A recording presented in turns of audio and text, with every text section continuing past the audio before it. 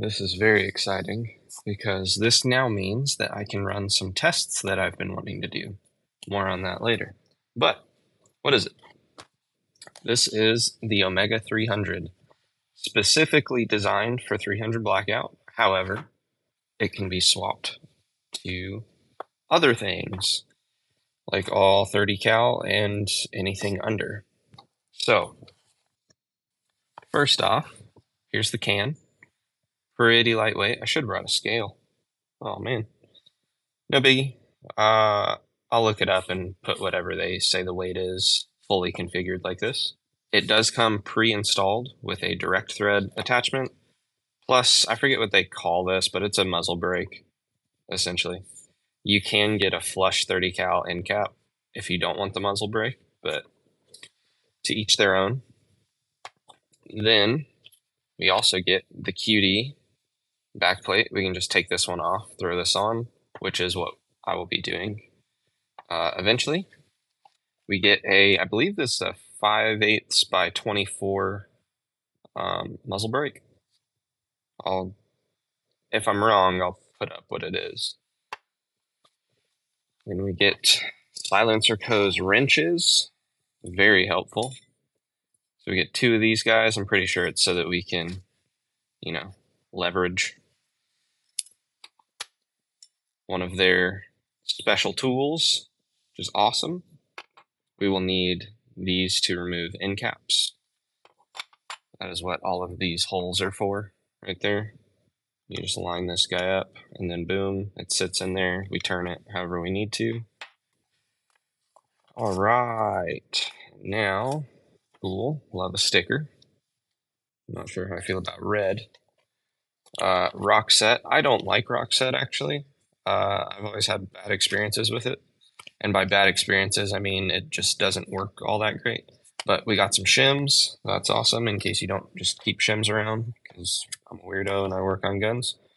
Uh, product registration, which I probably will not do. Not sure how I feel about that. Maybe I will since this is such a special item. A field manual. I don't see why that's any different than a normal manual because I'm not probably taking this with me in the field. That's good to know. Cool. Neat. And then a nice little carrying bag. That's handy.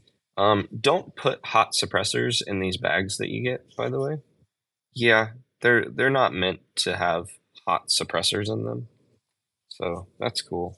This one feels a little different. You might be able to, but I highly doubt it. Now, back to those tests I was wanting to run. Um, figuring, is that sticky? It is sticky. Weird. I'll have to end up wiping that off. There's some tests I've been curious about. First, uh, I want to see how a baffled suppressor compares to a flow through suppressor. Um, no, they're not from the same company because my flow through suppressor is from HUXWRX. Obviously, if you've seen my video about that suppressor, it's a 556 suppressor. This is a 30 cal suppressor. So, I did get 556 caps and direct thread.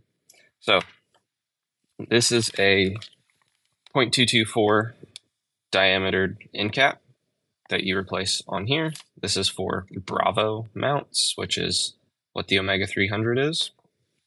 And then we got a uh, half inch by 28 threaded Bravo direct thread mount, which will replace this. Now, I'm doing that because one, yeah, I want to see what baffle does compared to flow through. Try and get some sort of reading on what it actually does. You know, um, yes, there's more back pressure here, obviously, by the flow through name, it pushes those gases forward and flows through the suppressor instead of going back. But there is still back pressure, supposedly not nearly as much. There's also the volume issue. Apparently, flow throughs are a little bit less quiet because their main focus is shooting things forward, whereas baffled suppressors are very quiet. So I want to see how those compare out of a normal DI gun.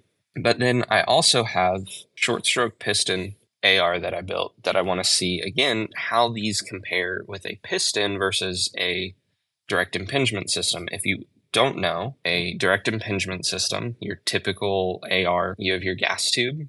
So you have your gas port in the barrel, your gas block, and then that shoots the gas up into that gas tube and back into your receiver, obviously making gas go back into your receiver.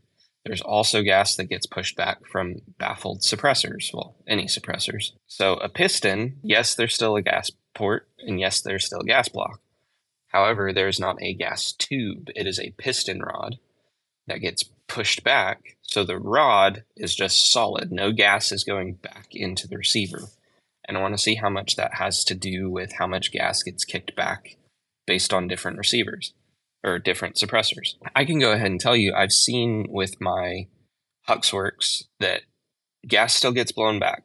You know, you can tell when you pull out the magazine how much gas is being blown back into the upper receiver because you see the gas buildup on the ammo. Yeah, so I'm curious. I think it's pretty cool that they send you these. Oh, hey, yeah, it is a 5 8 by 24. It's just really tiny and faint on there. I'm super excited to see how this goes. I can go ahead and tell you this is significantly lighter and its full configuration like this then the HUXWRX. Uh, I believe it's the HQ QD. Might be wrong on that. That is, I believe, nearly a pound. I think it's like 14, 13 or 14 ounces. Uh, this feels probably closer to half a pound, maybe a little bit over.